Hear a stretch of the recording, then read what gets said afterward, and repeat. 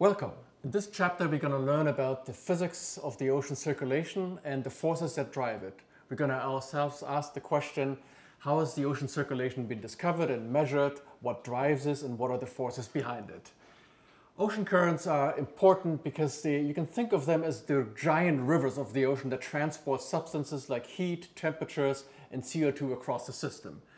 Captain Hunter Brown of the Glasgow School of Navigation released about 2,000 bottles in June of 1914 to discover the, the circulation pathways of the North Atlantic. About 100 years later, one of those bottles was found, and you can still take witness on how ocean circulation was discovered and measured in the early days. About 30 years ago, a big storm in the Pacific Ocean caused a container ship to get into trouble and lost some of their containers. Inside some of those containers were rubber ducks and also Nike sports shoes. And they were drifting with the ocean currents and the wind, but largely the currents through the Pacific and washed ashore in the Pacific west coast of the United States. Beachcombers found those shoes and rubber ducks and a colleague of mine took note of where they washed ashore and when and also got an idea of the, how the ocean circulates. In more modern days, we are concerned about all the plastics in the ocean.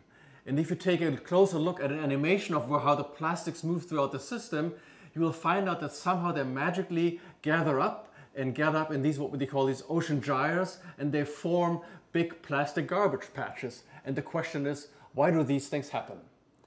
Now, ocean physics help us there.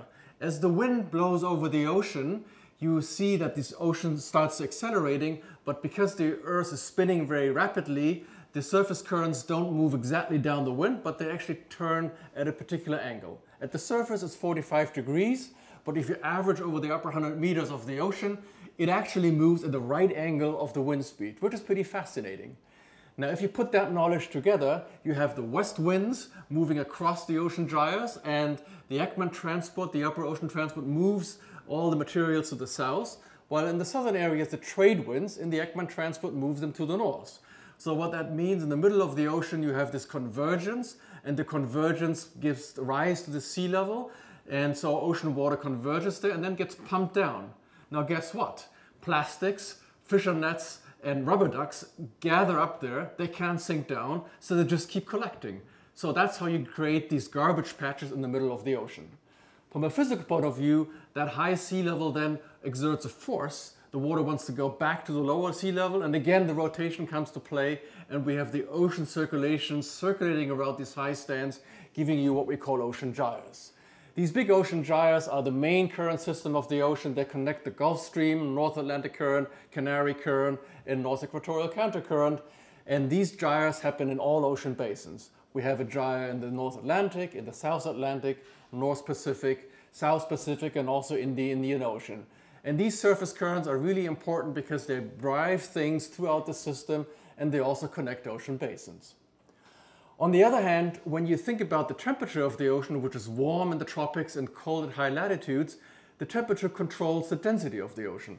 In cold areas, uh, water sinks down to great depths, and by that we can also cause an ocean current. It's not the horizontal one, it's a vertical ocean current. Cold water sinking down, slowly warming up and coming back to the surface. This gives rise to a circulation that we call the meridional overturning circulation. So it's driven by the coldness in the poles and it's supported by the upwelling throughout the ocean basins. This large-scale circumnavigating sets of currents is sometimes called the global ocean conveyor belt. So what that means is that this large-scale temperature-driven ocean circulation connects all the ocean basins to each other. It takes the cold water, moves it to the south to the, the, the milder climates of the tropics, but it even then keeps going to the southern hemisphere and slowly comes back up in the Pacific Ocean, Indian Ocean, and returns as a warm current back to the polar regions of the Atlantic. So this circumglobal current system, I think gives you a good indication why we like to talk about one ocean, because the ocean circulation connects all ocean basins and gives rise to one ocean system.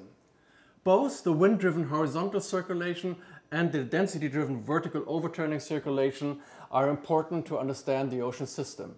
They move nutrients, temperature, salinity, and carbon throughout the system and really show you how the ocean currents are so fundamental to understanding the ocean climate system.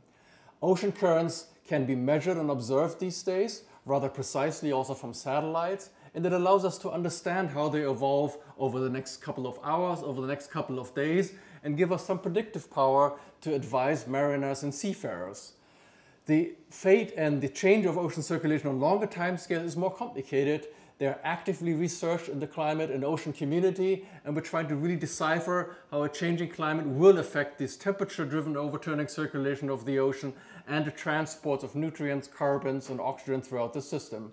It's still a challenge for us in the community, but one thing is clear, the ocean circulation connects all ocean basins, and that's why we like to talk about one ocean.